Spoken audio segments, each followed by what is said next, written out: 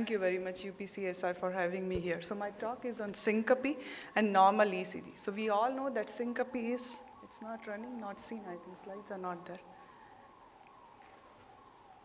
So syncope is very short, transient loss of consciousness with very quick recovery. So my talk is on normal ECG diagnostic pathway. So if you say syncope, that means it's a cardiac syncope. And if it's a cardiac syncope, if I'm talking about normal ECG, it ranges from vasovagal syncope to structural heart disease. I'll be talking about cases in whom the ECG, baseline ECG is normal. So if I talk about baseline ECG is normal, I think my one take home point will be take very good clinical history, see for demographics, that is very important, and see the clinical situation when the syncope has happened, and what age it has happened, and do, do some dynamic Uh, uh, changes are happening in the ECG, we should search for that. And if you look about the cases about the channelopathy, apart from structural heart disease, commonest is long QT syndrome, followed by Brugada, CPVT, then you have some structural heart disease cases. So as I've already emphasized, that the clinical history is most important. Past medical history, family screening is very important, physical examination for, for subtle changes in the hands, legs to see for if the patient is having some channelopathies. Then echocardiography, ARVC, why I've put a question mark? Because sometimes it's a little difficult to diagnose an, on echocardiography if there's an RV outpouching or some dyskinesia is there. Never forget to do extended ECG monitoring if baseline ECG is normal, followed by stress test and the provocative tests. I would like to show uh, my thing with the case examples. This is a 10-year-old boy with recurrent syncope, structurally normal heart. So if you see this child, apart from sinus arrhythmia, there is nothing in the ECG. But when I took a detailed history of the child, brother is okay, but on the father side, one of the sister's son died at the age of 12 years. So this is raising an alarm. Doing a TMT is little difficult in children. So what I did, I, extend, I put him on extended monitoring and I did real-time monitoring. In front of my device clinic, I made him run. First 10 minutes, nothing happened. 12 minutes, nothing happened. 15 minutes, nothing happened. 17th minute, I started seeing these PVCs. As soon as I started seeing these PVCs, I made him lie down. And when he started taking rest, even after taking rest, now you can see single morphology PVC has changed into multiple morphology, different cycle length, changing coupling interval, which is really high risk. And I think now everyone can make the diet. It kept on going for some time. So you should know when to stop when you are doing a provocative test, even with adrenaline challenge test. We don't have flecainide, we don't have, we don't have procainamide, all those ajmaline to, to do the challenge test. But we should know when to stop. So I stopped there. After some time, the child settled. And this is the genetic analysis of the child. He's on beta blocker, doing very good. There's a second guy, 33-year male, recurrent syncope, structurally normal heart. Baseline ECG is absol absolutely normal. This was a very interesting patient. This patient came to me with the, with the advice of pacemaker. Someone advised pacemaker, so he, he came for second opinion. If you walk through this, there is no change in the PR interval, and suddenly there is one P which is dropped. So everyone will think about it's an high-grade AV block. But if you walk through this, before the P wave AV nodal block, P, P, P, P, P, P is slowing down. So what is this? So whenever P, P, P slows down, before the AV nodal block, this is vagally mediated AV block, which doesn't need a device. Why a young guy will develop vagally mediated AV block?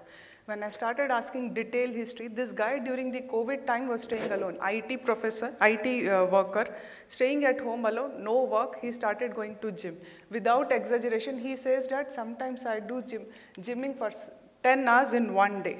And with his permission, I took this picture. He, he, gave these pictures to me. He's putting 250 kg weight on him, and he's doing daily 10 hours exercise, which he trained himself over just one year. So this patient I saw in June 2020, and now it's been almost one and a half years. He stopped all these exercise, doing good, no pacemaker, nothing, no AV nodal AV block. This is a third patient, 21 year male, one episode of blackout. This guy is working in some hospital. He had some uneasiness, giddiness in the hospital. And because there is some early repole changes, if you can see V4, V5, lead 1, lead AVL, he was diagnosed with ACS. I think this is the commonest diagnosis we cardiologists are making in the hospital. Not only ACS, this 21-year guy, he underwent angiography, normal coronaries. Despite of that, if you can see, direct LDL is 10, triglyceride is 50. He was on 80 milligram of atorvastatin, dual antiplatelet. When I asked history, he said, my mother died at 25 years of age suddenly. So this was online appointment for me. I said, okay, you get an extended monitoring done and I'll do real-time monitoring. I started real-time monitoring. And what is astonishing here, can you see this? There's a dynamic P wave changes, which is really interesting to me. Can you see this? Why this same, almost same heart rate, but the P wave without change in depolarization, if there's a changes in the repolarization is a marker of sudden cardiac death. This I've highlighted this. If you can see this P wave upright, almost same rate, almost same time, there's a dynamic T wave changes. This was very interesting for me. So I spoke to the guys because I'm developing this device with them. I said, I want the position change at this time. If you see, the, these are the three X, Y, Z axes to show that there is no change in the position. Without change in the position, without change in the rate, there is a dynamic T wave abnormality.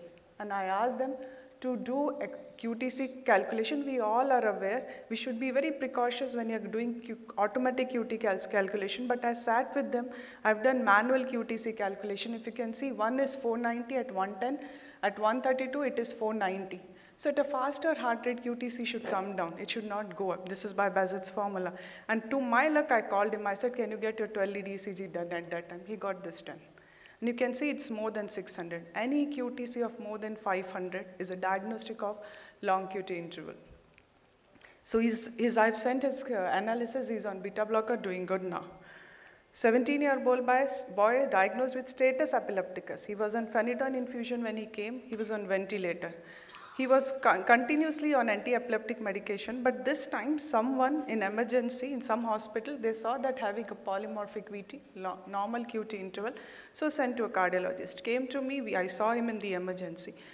And when I saw, I did some changes in the ECG. ECG is looking okay, but I did some changes. So what I did, because I was suspecting something, he had fever, I had kept chest leads in the parasternal region, V1, V2, V3, V4, V5, V6, and I think there is a type 1 Brugada pattern. Ones who are not able to recognize, I've just done a measurement here. There is no doubt about it. Managed with isoprenaline infusion, stopped phenytoin, did well. He was really doing well. So here is the importance of meticulous follow-up this patient. I've recently published this patient because he turned out to be cardiac sarcoidosis, not, not Brugada syndrome. Brugada gene was negative. This is my last, last slide.